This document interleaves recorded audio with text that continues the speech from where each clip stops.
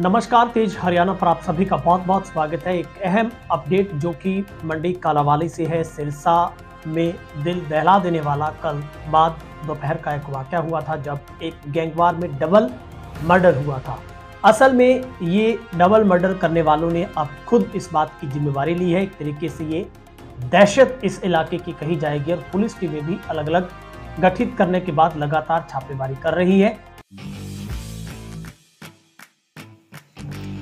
डबवाली में international brand का पहला शोरूम विंटर सीज़न पर ड्यूक ब्रांड का एक प्रोडक्ट खरीदने पर एक के साथ एक फ्री यूएस पोलो प्यूबा और फ्लाइंग मशीन पर भी बाय वन पर 30 परसेंट की छूट और एक से ज़्यादा खरीदने पर 40 प्रतिशत की छूट। सीमित समय के लिए offer Chautala highway Punjab Sind bank के पास, अग्निकांड के सामने। अब गैंगस्टर तख्तमल ने एक इंस्टाग्राम पर अपनी एक पोस्ट डालकर इस बात की गवाही भरी है कि जो डबल मर्डर किया है, वो हमने किया और इस बात की उन्होंने चेतावनी भी दी है कि अगर कालावाली में किसी ने भी इस तरीके की दहशत फैलाने की कोशिश की तो उसका अंजाम यही होगा। तो ये हम आपको कहानी बता रहे हैं पूरी। आखिर जो सोशल मीडिया पर लिखने के बाद गैंगस्टर तख्तमल ने इस बात की एक गैंगवार की जिम्मेवारी ले ली है और उन्होंने ये भी कहा है कि जो बच गए, उन्हें भी मैं जल्द टांग दूँगा। गैंगवार में दो युवकों की हत्या हुई थी, जिसमें मृतक दीपक और एक वीरेंद्र था।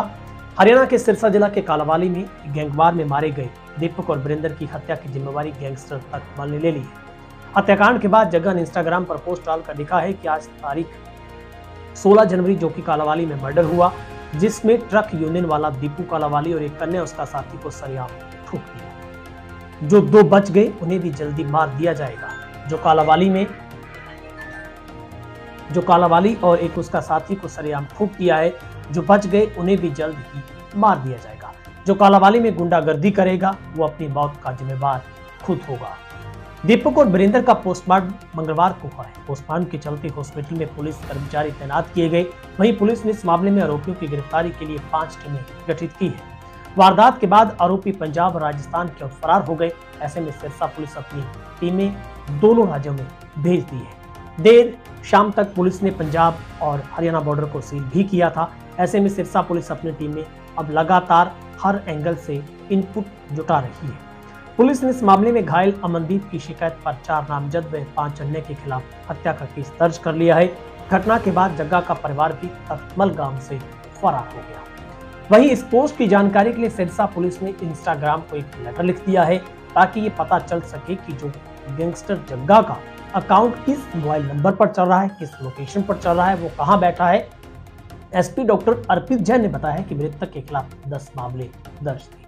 आरोपी को जल्द ही ट्रेस करने का पुलिस ने दावा किया है और यहाँ पर पुरानी रंजिश में ये मर्डर की कहानी मिल रही है। एनआईए का वांटेड जग्गा सिंह बम्बिया ग्रुप से जुड़ा हुआ है। पिछली बार जो कि एनआईए ने जग्गा के घर पर रेड की थी, दोनों गुटों के बीच रंजिश है। पहले दोनों गुट एक साथ थे। इसी रंजिश के चलते इक्कीस नवंबर को 2022 को दीपक को उठाने के लिए पंजाब पुलिस के तीन नौजवान आए थे। परंतु ट्रक यूनियन में विरोध होने के बाद पंजाब पुलिस के जवान चले गए। गाड़ी छोड़कर हमलावर फरार हुए थे। कालावाली के ट्रक यूनियन के प्रधान दीपक उर्फ़ दीपू, वीरेंद्र उर्फ़ दीपू, अमनदीप उर्फ़ काला, परमजीत उर्फ़ जग्गा, रजत सिरसा कोर्ट में पेशी पर आए हुए थे। जब दोपहर तीन बजे वे वापस कालावाली लौट रहे थे तो पाँच युवकों ने जब कालावाली के देसी मलकाना रोड पर आए तो सामने से स्कॉर्पियो ने आकर उनकी गाड़ी को टक्कर मार दी। करीब 15 से 20 राउंड फायरिंग हुई। दोनों ओर से फायरिंग हुई। ऐसा नहीं कि एक तरफ़ से, बल्कि दोनों तरफ़ से हुई।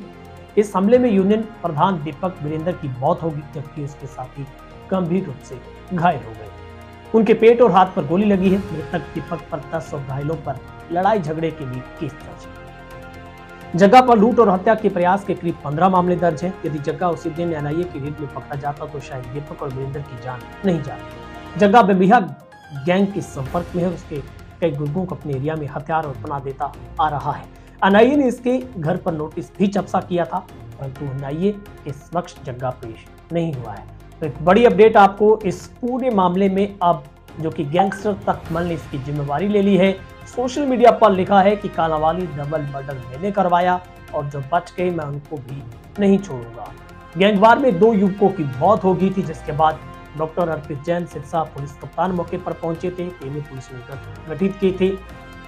पंजाब हरियाणा बॉर्डर को सील किया गया था, लेकिन अभी तक पुलिस के हाथ कोई कामयाबी नहीं लगी इस खबर को आप ज़्यादा से ज़्यादा शेयर करें। फेसबुक पर है तो प्लीज़ को फॉलो करें यूट्यूब पर देख रहे चैनल को सब्सक्राइब करें और ज्वाइन करें। बहुत बहुत शुक्रिया।